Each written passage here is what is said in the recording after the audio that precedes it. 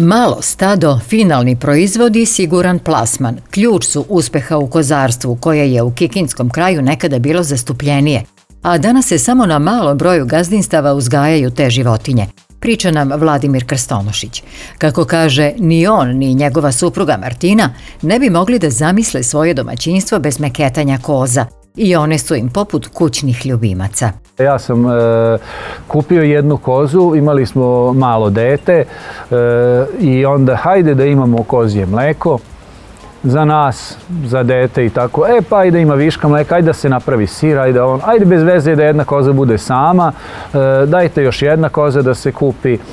I tako, polako jedna po jedna, mi smo došli na nekih desetak i to je neka cifra oko koje se i dalje vrtimo. Naravno, tu postoji fluktuacija uvek, nova grla dolaze, stara odlaze. U prilagođenom objektu u zadnjem delu dvorišta u pitomoj simbiozi životare pokoja sanska koza, par alpino koza, a jarac i ovan su tu da bi bila osigurana disciplina, pošto je poznato da su koze životinje sa posebnim karakterom nauče, oni pripitome se nauče da, da, da se tolerišu između sebe. E, bilo je primjera da ljudi drže e, živinu i zečeve zajedno u komšiluku.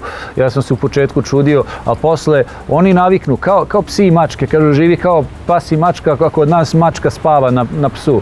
Ovaj, znači oni, oni se naviknu e, kada su prinuđeni da žive zajedno. Evo mi imamo trenutno sad jednog ovna među, među kozama i, i tu je i jarac. Naravno potuku se oni, to su različiti različite životinske vrste, tukli bi se i jačevi među sobom, ali to je sve normalno, pa to su životinje. A da bi bio mir u kući, gazde vode računa da njihovi melezi imaju raznovrsnu ishranu. Povremeno dobijaju i koju otpalu šumsku granu koju obrste u rekordnom vremenu, uz osmeh dodaje Vladimir. Hranimo ih baliranom lucerkom i hranimo ih vrlo kvalitetnim koncentrovanim hranivima. To moram da naglasim da ne kupujemo koncentrat. Znači imamo svoj kukuruz, svoj ječam, svoj ovas e, i naravno imamo e, pogače e, ove od hladno ceđenih ulja kao prvo suncokretovu, kao, kao drugo imamo ovaj pogaču od, od konoplje koju isto meljemo za svoju stoku, od bundevinog semena sa ljuskom, naravno sa višak mi lako prodamo ribolovcima, ali prvo našu stoku hranimo hranom vrhunskog kvaliteta. Naravno, lanena pogača je isto jako dobra za, za ishranu stoke. Kada su 2005. godine nabavili svoju prvu kozu, bilo im je dovoljno da imaju svakog dana na trpezi po litru mleka, a kada su nabavili još grla, hobi kozarstvo preraslo je u mini porodični biznis. Količine mleka zavise od raznih faktora. Jedna koza e, normalno je da, da da 2 do 3 litre mleka. E, naravno da je prosek e, uvek niži. Sad uvek postoje neke rekorderke. Neki ljudi vole da, da se hvale s nekim velikim ciframa. Ja, ja, kažem ljudima i, i, kada govore o prinosima u polju i tako je ovdje mleko. Čuti, nemoj se hvaliti velikim prinosom. Čoveče, obara sebi cenu. tako da ovaj, šalu na, na, na stranu. Znači, realno je očekivati od deseta koza da, da daju 20 litara mleka. Njihove koze im daju količine mleka koje su dovoljne za manji obim proizvodnje. Njegova supruga Martina, koja je još kao devojčica vodila brigu o kozama i naučila je da ih muze, danas je preuzela posao pravljanja mladih i zrelih sireva. Sve količine koje naprave unapred su rasprodate, zadovoljni ističe naš domaćin imamo količine koje vrlo lako možemo da, da prodamo i uopšte nema, ne, nema potrebe e, da, da izmišljamo ne, nešto novo. Po meni sir je sir, lako je njemu dodati papriku. Nemam, nemam ništa protiv, probao sam ja takve sireve u redu je. Probali smo da, da dodamo origano, probali smo svašta, ali od svega smo odustali. Naj, najbolje prolazi e, kod nas, kako se nama pokazalo, čist proizvod. Znači, mladi sir, zreli sir, kačkavalj. A najbolji kačkavalji prave se u drvenim kačicama, kaže Vladimir i s ponosom ističe da je uspešno savladao i tehnologiju izrade zrelog sira iz kačice.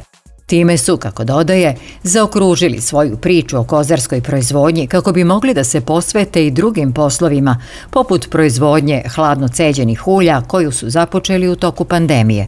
Kaže da kroz prodaju ulja imaju i svojevrsnu misiju propagiranja zdrave ishrane, te se trude da nenametljivo edukuju svoje kupce. Važno je da su i oni edukovani, zato pravimo te neke e, flajere, letke, na, kojima napišemo kroz neki e, lako pristupačan način, pomalo i šaljivo, e, ovaj, da, da približimo ljudima šta je to u stvari. U stvari najkraće bih rekao da je hladno ceđenje ulja slično proizvodnji vina na tradicionalan način. Znači, evo vi ste pomenuli laneno ulje, ste probali naše i probali ste ranije negde drugde neko drugo i rekli ste da je drugačiji ukus. Kod hladno ceđenih ulja, isto kao kod e, vina, e, kod domaćih vina, znači e, najviše zavisi od sirovine, odnosno od sorte.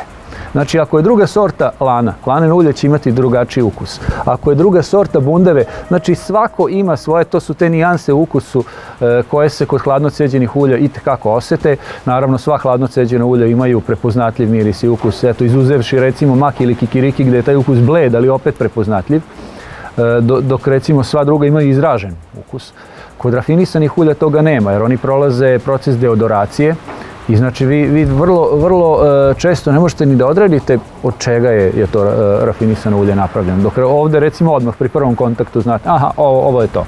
Kao što ume da razlikuje rafinisana od nerafinisanih ulja, ovaj svestrani kikinđanin putujući po svetu sa svojim tamburaškim bendom spoznao je i razliku između belog sveta i rodnog rada. Kako šaljivo zaključuje, ništa nije ni nalik osjećaju kada se popneš na ludeju i vidiš celu Kikindu.